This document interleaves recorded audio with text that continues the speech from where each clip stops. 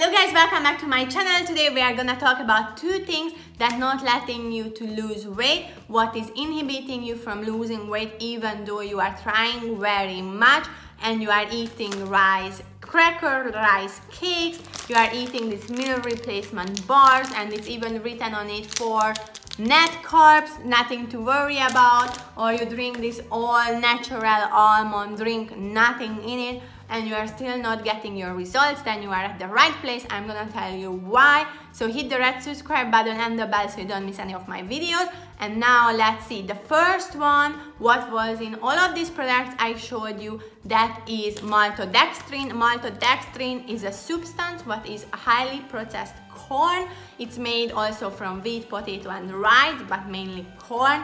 And corn is GMO, you can be 99% that it's made from GMO. So you're not just getting this chemical substance into this food, you are also getting GMO residuals into your food.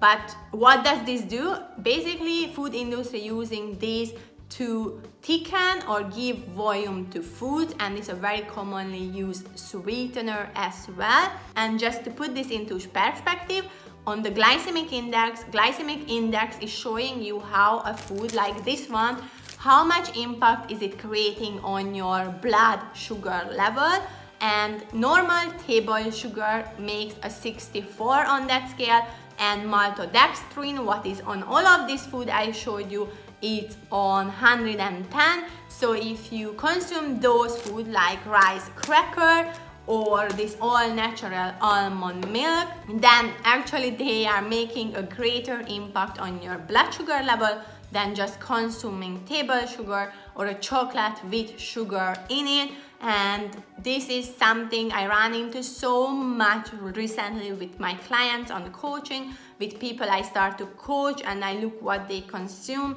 and it's pumped like things you would never think about pumped with maltodextrin what as I said creates a bigger effect on blood sugar and creates bigger insulin spikes than normal table sugar. Like look at this. I will show you to be really relevant here.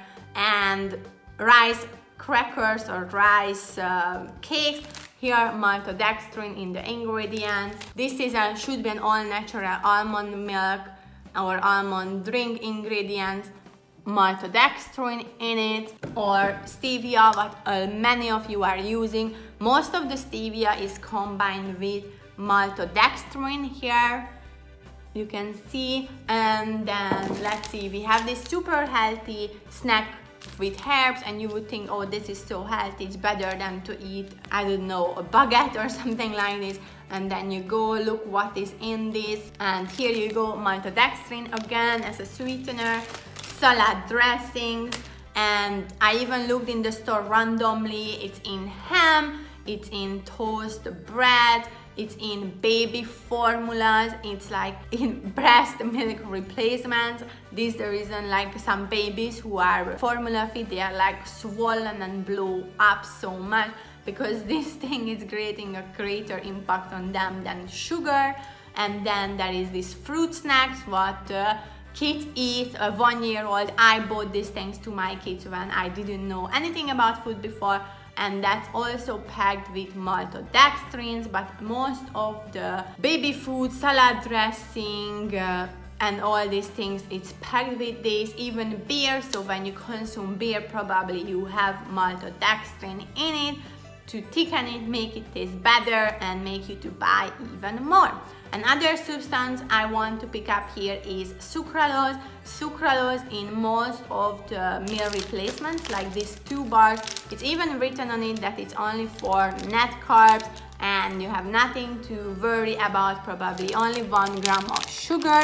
However, these two have sucralose in them and sucralose is an artificial sweetener very similar to aspartame and very similar reacting to your blood sugar than aspartame. It's basically new studies showed that sucralose makes great insulin impacts on you like it makes insulin spikes, spikes your blood sugar and even if you consume sucralose on a regular basis it's destroying microbes and probiotics in your gut and it's creating really big digestive issues for you. It's really really unhealthy. And most of these meal replacements protein bars protein powders and uh, different of these uh, weight loss products packed with sucralose I highly highly recommend you. Don't consume that I'm going to link in the description box below a few protein powders that are really good, not spiking insulin and you can use them. So check those out and really really skip all these products what has sucralose or maltodextrin in it